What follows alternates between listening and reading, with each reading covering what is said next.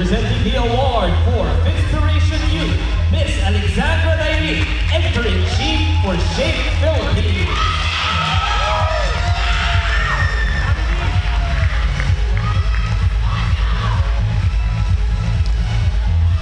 More photo op before we announce our next set of winners. We are winding down.